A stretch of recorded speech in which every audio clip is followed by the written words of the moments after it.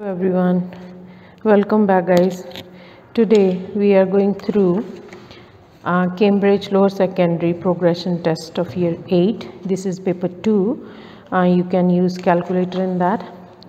So let me start with question number 1 x is an integer such that x is less than 8 so integers are the numbers on the number line.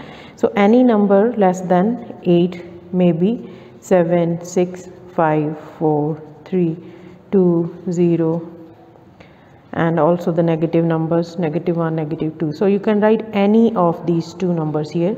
Let's say i'm writing here 0 and let's say it's 3 whatever number. Uh, any number less than 8 is possible to write here.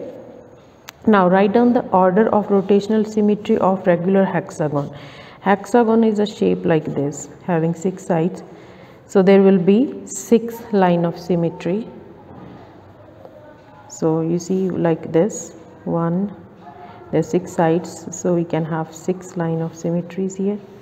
So one will go from in the middle like this here in the middle of the sides. So there will be six line of symmetry right sorry sorry not line of symmetry. These are rotational symmetry. This will also be a uh, 6 because their six sides are equal. So there will be line, uh, 6 rotational symmetry. 6 times you are going to get the same shape when you rotate up to 360 uh, draw a ring around a letter that is uh, the subject of the formula. So you see here subject of the formula is u because u equals to something. So we are going to put ring around u right? So now next number 4 is a bag contains uh, counters that are red or green or blue. A counter is picked at random. The probability of picking each color are shown in the table. Find the probability of not picking blue color. So blue color's probability is 0.65 so not blue probability of not blue is 1 minus 0.65 so this is 0.35 so final answer is 0.35 right? Question number 5 uh, put a tick next to each of the correct statements about quadrilaterals. Uh, now in quadrilateral all squares are rectangles. So uh, squares and rectangles. So this is square and this is rectangle. So meaning to say all the properties that satisfy the square also satisfy the rectangle. So this is a correct statement. All rhombus are squares. So rhombus cannot be a square because in rhombus angles are not 90 or parallelogram are rhombuses.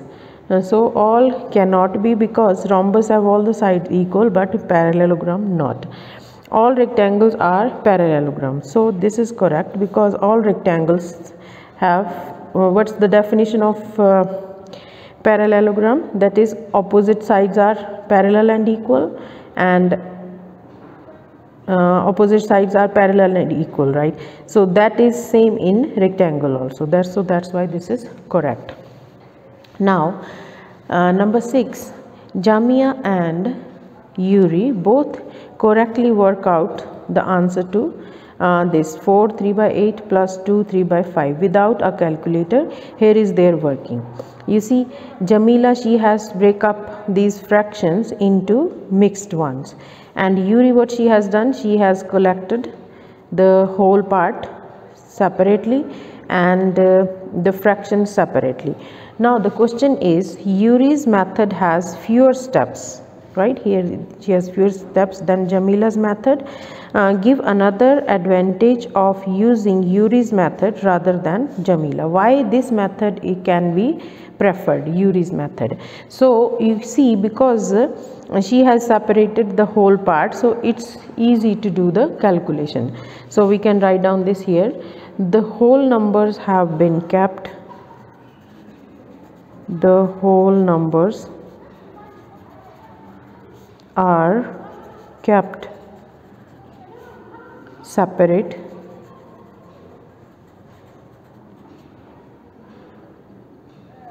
To make the calculation easier.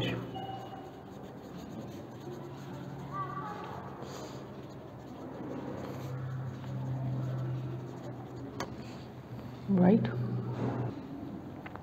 Question number 7 uh, a total of total cost of hiring a bike is worked out like this. A fixed cost of 35 and an additional charge of 20 each day. And so 35 is fixed. Write the formula of cost c. So we need to write down c is equal to what? To hire a bike for d days. So we are given d days. So 35 is fixed right? 35 is definitely they are going to charge. Then additional of charge of 20 each day. Each day is 20 times d because there are d days so that will be 20 d. So this is going to be final answer 35 plus 20 d. Uh, number 8 the function y equals to uh, 2x minus 4 can be represented by this calculation uh, this function machine. So you have input value here input then output. So what goes in here? Uh, complete this function machine complete the table. So this is the second part. So here you see input is x then x is multiplied by 2 so you can write here times 2 and then subtracted 4 so minus 4 that gives you the output right? Now complete the table for the function y equals to 2x minus 4 so when x is this is x and this is y. So we have y equals to 2x minus 4 now x is negative 3.5 minus 4 so you multiply this one first. This is negative 7.5 minus 4 so that is going to be sorry this is 7.0 so both are negative. So we can add this. It will be 11 negative 11 now here this is the calculation for this. Now for this one the second part we have uh, given y. Now y is equal to 2x minus 4 y is 11 so we are looking for the value of x. So shift x to other side. So 11 plus 4 this is 2x so this is 15 equals 2x over 2 over 2. So this is 7.5. So x is 7.5, right? Now number 9, complete these sentences. So uh, 792,344 correct to 3 significant figure. 3 significant figure is here so this number is less than 5 so you're going to make this 0 so that will be 792000 right? Now this corrected to two significant figure. Two significant figure are here. So as you see this is 5 so we are going to add if 5 or more you add 1 here. So this will become 0.40 so now one thing that you guys need to be careful don't write it. It cannot be uh, 0.4 you can't write this. 0.4 this is wrong. Um, because it will give you one significant figure and we need two significant figures. So that's why you must write 0.40 now number 10a Ahmed has a box containing 154 pencils that are yellow green or blue. The ratio of yellow green to blue pencil is this uh, so we have yellow green and blue. 2 ratio 5 ratio 7 right? So work out the number of number of green pencils in the box right? So green is here. So they are 5 number of green pencils. Number of green pencils is equal to 5 over. Out of how many? So total is total of the ratios is 2 plus 5 plus 7 this is 14 so 5 out of 14 and we have total 154 so when you divide 14 14 11 times 5 it's 55 right? Now part b. Ahmed has two boxes of pens. Both boxes contain red and black pens only uh, the table shows gives some information about the color. So ratio of red to black proportion of red pens. So this is 2 and um, this is ratio and this is proportion. Proportion is always out of total. Out of total right? So uh, proportion of red. Red is this one is red and this one is black. So it's 2 out of total is 7 plus 2 is 9 right? Now like here likewise we have red pen 3 over 10 so that means the total number of pens is 10 so 10 minus 3 that is 7 so this is red is 7 ratio sorry 3 ratio 7 so this is 3 ratio 7 right? So that's how you can complete this work. So let's move to next question i hope you guys are getting everything. If you like the video please press the like button and subscribe to my channel and share it with your friends. So let me know in the comment section. How do you like the video? So take some time to give your feedback. So let's start number 11 Hassan has two fair spinners. Spinner A has three sections numbered 1 2 3 you see here 1 2 3 spinner B has five sections 1 to 5 this side. Uh, find the probability of spinning. What? Spinning what? The same number on both spinners. The same number on both spinners if you see that means this will be um, uh, how many are they in? Uh, the total outcomes total outcomes here